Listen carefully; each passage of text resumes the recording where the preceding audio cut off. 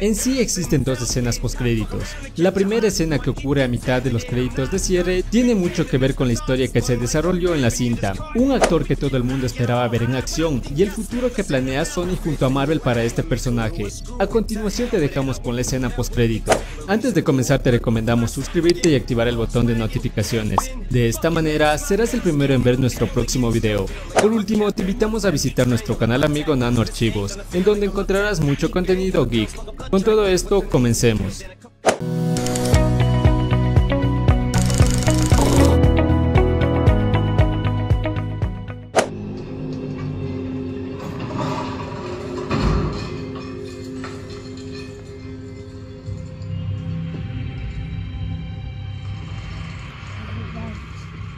Hi, Eddie. Hey, you mind if we forego the whole creepy serial killer thing here? Sure it's good with me. I mean, I can turn it on if you want. But I can talk about the Dada's patterns of arterial spray. I bet you can. Tough to see, but slide, Eddie. Come on over. All right.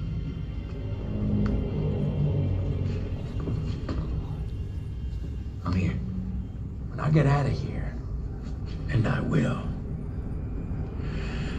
there's gonna be carnage.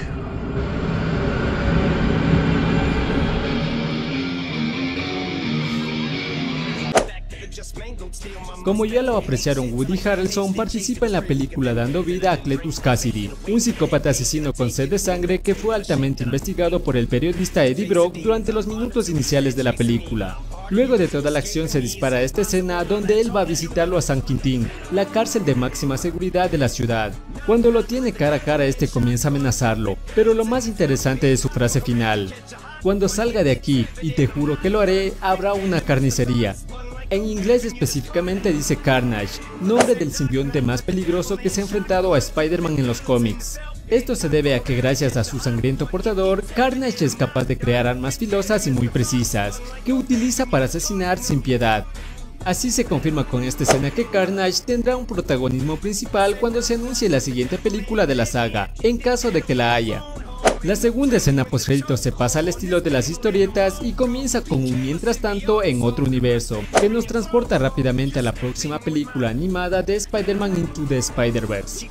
Allí vemos a Miles Morales, el hombre araña adolescente en un universo alternativo, en una vertiginosa persecución con el villano llamado Prowler, y luego visita la tumba del hombre araña original Peter Parker. Miles es sorprendido por un ya mayor Peter y lo deja inconsciente con un golpe tipo Venom, uno de los poderes que tiene Miles, y se da cuenta que Peter lo envolvió en una tela de araña antes de que él lo noqueara. Así que están juntos cuando los policías arriban al lugar y los persiguen por la ciudad.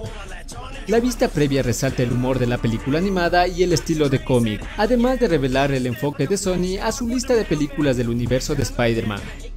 ¿Qué opinan del final? ¿Les gustó la película y sus escenas post créditos?